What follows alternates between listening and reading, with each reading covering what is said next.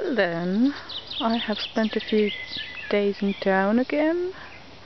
Um, uploading and downloading some bigger stuff and doing bigger laundry and all that. And since I have not recorded almost anything almost for a week, this is a good time for some progress shots. How things have changed over here. First, the potatoes. So yeah, the results vary. Some have come up really well, especially those that are in the shade there, and some not so much.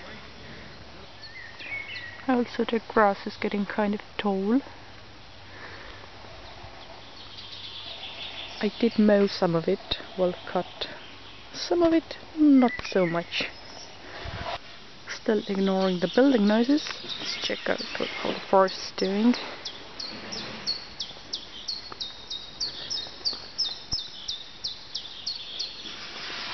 If you compare this view uh, with the early April, late March, May, whatever's uh, shots, then uh, the progress is quite visible.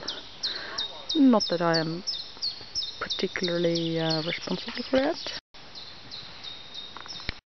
Like everything is growing, like turbo growing. Uh, also, this is called when relatives attack.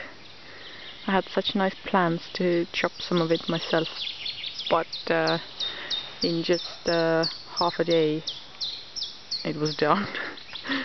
One thing I'm noticing in the woods is that, I mean in these backyard woods, is that uh, now that the higher braces are gone mostly, all the undergrowth is suddenly exposed to light, which makes it really flourish, like all sorts of half shrubs, half trees, like uh, uh, rowans and uh, and the stuff that I don't I don't know the names for is is like really really going out there.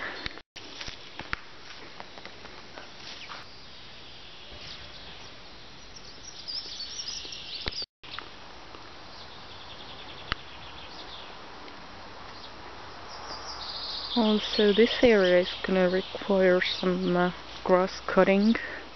I've been putting it off because I waited for the uh, for the flowering uh, weeds uh, do their uh, do their flowering and and uh, carry seeds and whatnot.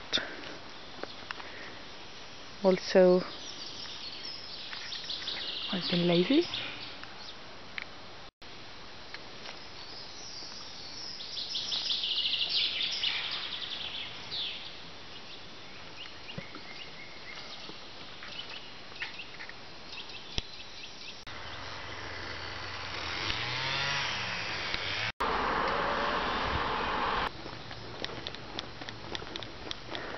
I am now in the process of going to the train station to pick up a friend of mine. And looking around, I would conclude that it's proper summer.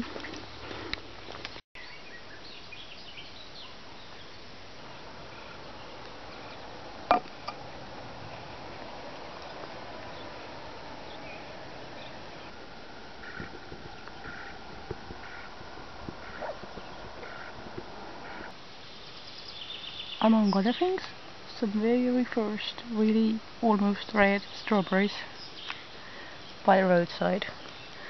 I wouldn't eat from this particular spot